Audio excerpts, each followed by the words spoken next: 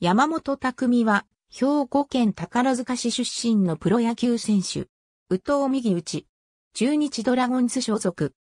3歳だった2003年に、地元球団の阪神タイガースが、セントラルリーグで18年ぶりに優勝したことをきっかけに野球を始めた。宝塚市立仁川小学校への入学後に、軟式野球クラブの仁川ユニオンズで本格的に野球をスタート。当時から NPB 入りを漠然と志していたほか、阪神タイガースのファンクラブ会員としてシーズン中に月2回ほどのペースで阪神甲子園球場で阪神戦をジップと共に観戦していた。宝塚市立宝塚第一中学校への在学中にはヤングリーグの兵庫タイガースで主に二塁手や遊撃手を務めた。自身の希望ポジションは投手だったが、身長があまり伸びなかったため、投手としての実戦登板は最後の大会にまで持ち越された。当時のエースが故障したことに伴う先発登板だったが、7回を投げて相手打線を3失点に抑えたことで、投手としての自信を持つようになったという。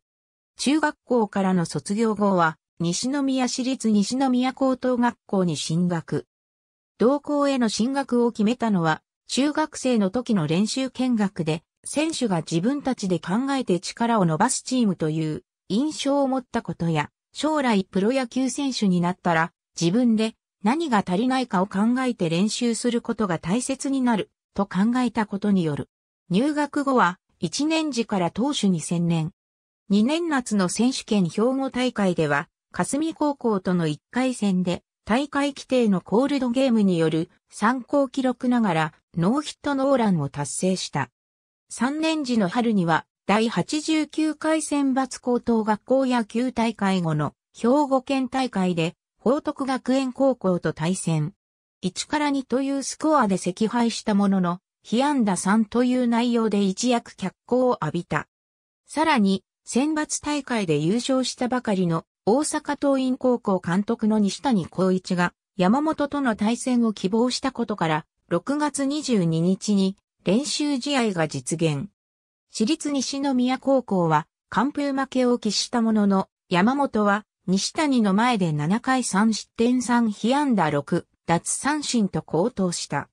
当時は大学野球や社会人野球を経由しての NPB 入りを考えていたが、この試合を境に高校から直接 NPB を目指すことを決意したという。その後の選手権兵庫大会では、準々決勝で報徳学園と再戦。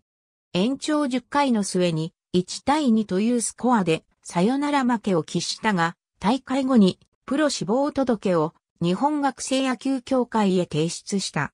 2017年の NPB ドラフト会議で中日ドラゴンズに6巡目で指名。契約金2500万円、年俸550万円という条件で入団した。背番号は59。私立西宮高校からプロ野球選手を輩出したのは1975の NPB ドラフト会議合意指名を経て近鉄バファローズへ入団した山中浩二投手以来二人目である。私立西宮高校は山本の在学中に3年生へ大学入試センター試験の受験を事実上義務付けていたほどの進学校でもあるが、山本は試験の前に中日と契約したため、同校の3年生としては数年ぶりにセンター試験の受験を見送った。2018年には9月11日に入団後、初めての出場選手登録を果たすと、翌9月12日の対阪神タイガース戦8回裏から一軍公式戦にデビュー。高校時代に立てなかった甲子園球場のマウンドで、阪神の上位打線を相手に、最速時速 148km のストレートで2イニングを無失点に抑えた。中日にドラフト6位以下の順位で入団した高卒新人投手及び2000年生まれの投手による NPB1 軍公式戦への登板は、この試合での山本が初めてである。一軍公式戦にはこの試合に登板しただけで、ウエスタンリーグ公式戦でも16試合の登板で0勝6敗、防御率4.54という成績でシーズンを終えた。シーズン終了後に参加したフェニックスリーグでは前年のワールドベースボールクラシック韓国代表4人を要するトサンベアーズ打線を6回3被安打6奪三振1失点に抑えている。2019年には1軍公式戦9試合に登板。7月24日の対広島東洋カープ戦で先発デビューを果たすと1週間後に先発した大阪新戦で6回1失点と高騰した末に初勝利を挙げた。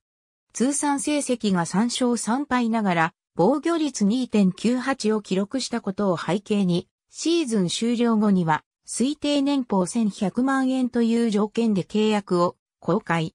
公開後の12月には年俸の1割以上に相当する自費を投じて、ドライブラインベースボールの出張セミナーへ参加した。2020年には、レギュラーシーズンの開幕から1軍の先発ローテーションの一角を担った。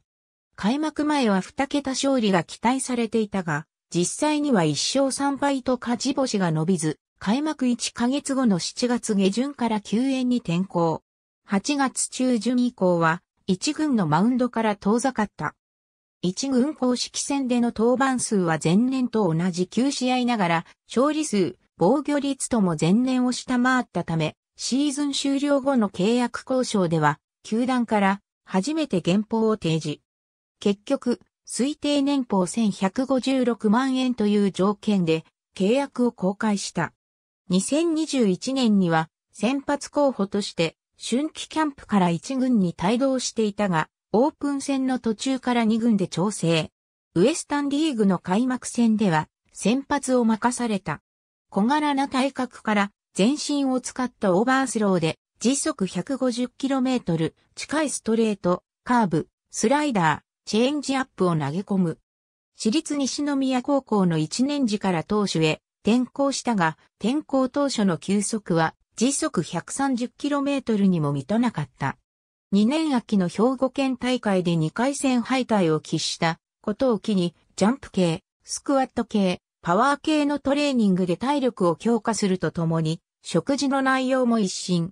その結果として、体重が 10kg 増えたり、太ももの周囲が 6cm 大きくなったりした。また、このように体格が向上したことから、ストレートの球速が時速 140km 台で安定するようになった。3年時の春には、チェンジアップと縦に落ちるスライダーを習得している。プロ入り後の最速は、中日2年目秋のフェニックスリーグで計測された時速 150km で、リーグ戦の期間中には、スラッターの投げ方も身につけている。中日では、谷本圭介と並んで小柄ではあるが、荻野忠宏から体の力をうまく腕に伝えられるフォームを評価された。また、法本英明は山本のことを5人の新入団高卒選手の中でも一番完成度が高く、体全体を使って投げるフォームからの直球は威力があるとした。藤川球児を彷彿とさせる攻撃的な投球スタイルも持ち味で、藤川の代名詞である火の玉ストレートのような剛速球で勝負できる投手を目指している。また、体の柔軟性が高いため、中日に入団するまでは大きな故障を経験していない。ジップも香川県立高松西高等学校、大阪教育大学への在学中に公式野球部へ所属。大学時代には近畿学生野球一部リーグで首位打者のタイトルを獲得したほか、ベストナインに3回選ばれた。ジップによれば、匠は幼稚園の年長クラス時代から野球への関心が高く、公園へ連れて行っても朝から夕方まで野球に明け暮れていたという。軟式野球を始めた当初は、当時阪神に所属していた、佐木原正史や下柳剛の投球フォームを真似ていた。その一方で、中日への入団3年目には、レギュラーシーズンの開幕を一軍の先発ローテーションで、迎えながら投球フォームのズレを露呈。